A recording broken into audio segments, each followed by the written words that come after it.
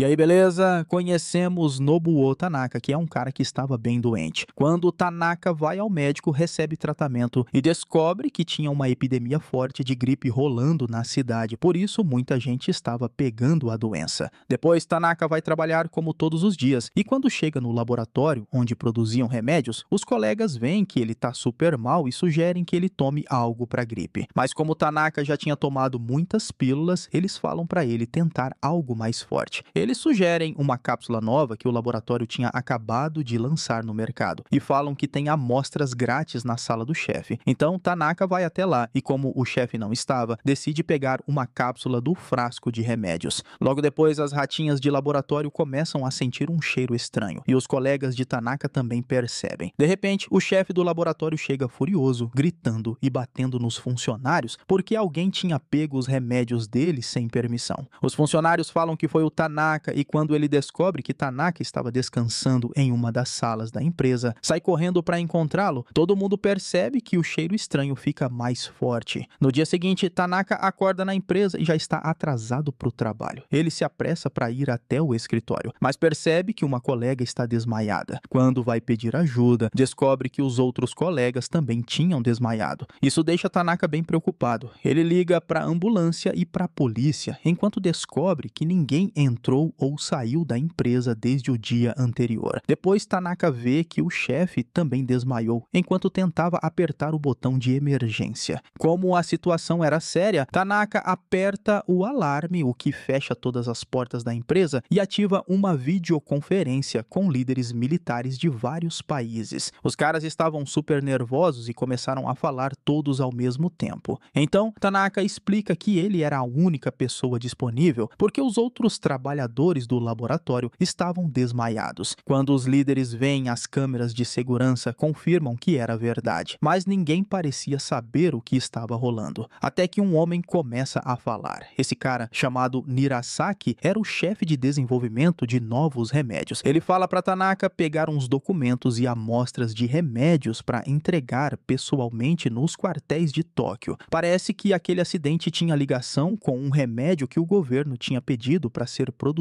em segredo. Nirasaki diz que Tanaka precisava sair dali rápido antes que a polícia chegasse. Enquanto Tanaka procurava os documentos, Nirasaki mostra a imagem do tal remédio secreto e Tanaka percebe que era a mesma pílula que ele tomou no dia anterior. Então, assustado, Tanaka pega tudo e vai embora de bicicleta. Enquanto pedala, vê alguns corvos agitados desaparecendo no ar, até que um deles cai em cima dele, fazendo-o perder o equilíbrio. Depois, Tanaka vê vários animais animais agonizando por perto. Sem entender nada, ele corre para pedir ajuda, mas fica horrorizado ao ver que havia uma ambulância, uma viatura e vários carros que bateram na estrada, porque os motoristas estavam totalmente desmaiados. Essa notícia logo se espalha e as pessoas vão até lá junto com a imprensa tentando entender o que aconteceu. Todo mundo tinha que usar máscara por causa do forte cheiro. Depois vemos alguns jornalistas sobrevoando a área tentando achar alguém vivo vivo. Eles avistam Tanaka pedindo ajuda no alto de um prédio e decidem pousar para resgatá-lo. Mas quando chegam perto, os repórteres começam a desmaiar e Tanaka não entende o porquê. Mais tarde, Nirasaki e o presidente do laboratório têm uma reunião urgente. Eles se reúnem com os líderes militares de vários países e Nirasaki e o presidente explicam que o ministro japonês tinha mandado produzir aquele remédio em segredo porque queria usar como arma biológica contra seus inimigos. Só que depois de produzir, eles descobriram que o remédio tinha um efeito colateral muito poderoso que ainda estavam estudando. De repente, um dos funcionários diz que o gás tóxico da área do desastre estava se espalhando ainda mais. Eles achavam que era por causa do vento, mas na verdade era porque Tanaka continuava se movendo e espalhando o gás tóxico. Enquanto isso, o presidente do laboratório revela aos governos que só um funcionário tinha sobrevivido ao gás gás no laboratório. Quando começam a falar, todo mundo percebe que Tanaka era a chave de tudo. Essa teoria é confirmada quando chega o relatório do laboratório dizendo que Tanaka causava todos os desastres. Alguns querem a cabeça dele, enquanto outros querem protegê-lo para estudá-lo. Tanaka acaba se encontrando com o exército e pede ajuda, mas quando os militares que estavam mascarados se aproximam para resgatá-lo, começam a desmaiar quando percebem que Tanaka é quem estava emitindo emitindo gases tóxicos, eles saem correndo. Mas Tanaka não queria ficar sozinho, então vai atrás deles e, sem querer, acaba fazendo os militares baterem seus veículos. Depois, ele continua seu caminho em direção a Tóquio e aí aparecem uns militares junto com sua avó tentando persuadi-lo a voltar para não causar mais mortes. Tanaka percebe que a coisa era séria quando os militares começam a atirar nele, mas felizmente erram os tiros. Mesmo assim, o inocente Tanaka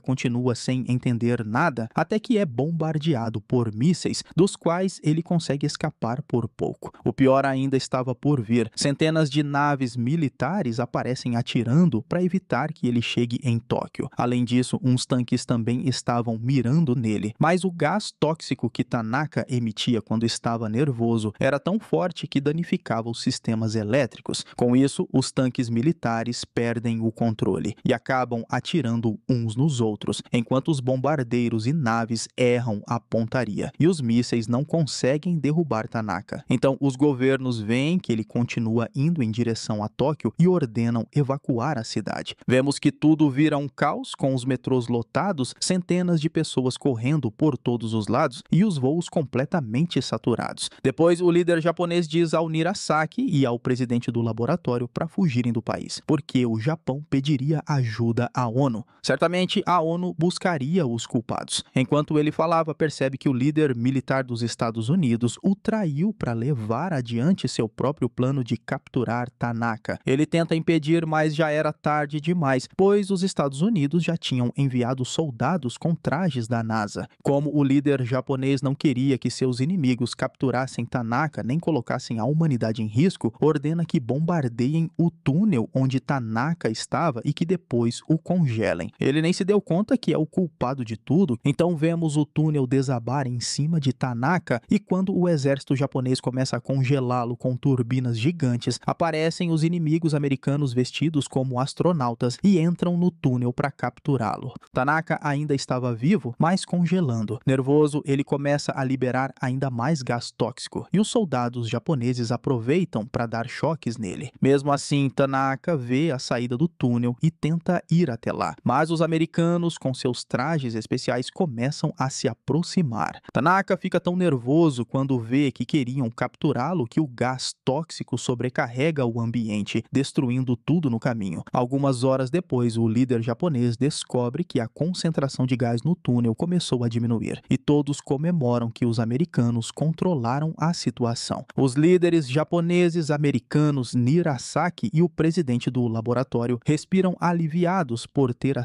situação sob controle. De repente, vemos um dos astronautas voltando, sendo recebido com aplausos, mas a alegria acaba quando todos percebem que aquele astronauta era Tanaka. Terminando assim o conto japonês de 1995, Stink Bomb. Esse foi o Solucionando Animações e eu te vejo na próxima bomba de fedor. Valeu, é nóis.